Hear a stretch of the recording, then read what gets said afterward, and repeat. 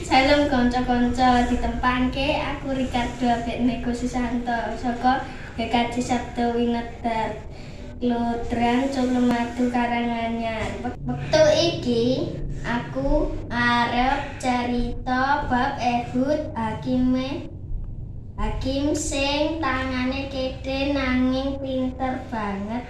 Kaya sing kacaritakake ana ning bab kitab Raja-raja telu ayat terolas tekan telang pulau.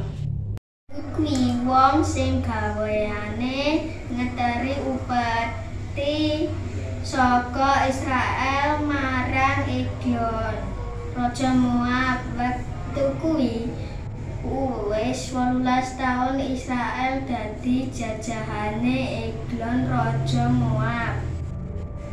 Ehud banjur gawe pedang mata loro lan diselipake ning ngisor agemane.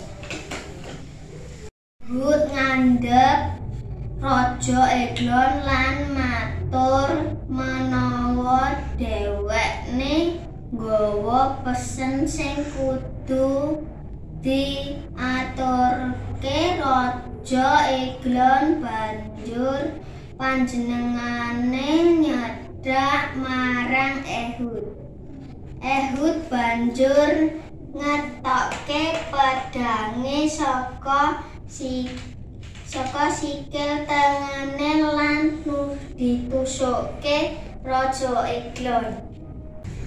Amarga lemu panjenengane wis ora iso obah lan Ehud mlayu iso mlayu saka lawang mburi. Akhire Israel iso mardika saka Raja Moab marang pimpinane Ehud sing tangane gede lan pinter. Saka cerita iki kene iso sinau nek ora kabeh wong sing duwe kekurangan kuwi bakal katindes. Gusti kuwi adil. Wong wong kede sing dianggep remeh iso menang. Saka semene ya ceritaku kanca-kanca.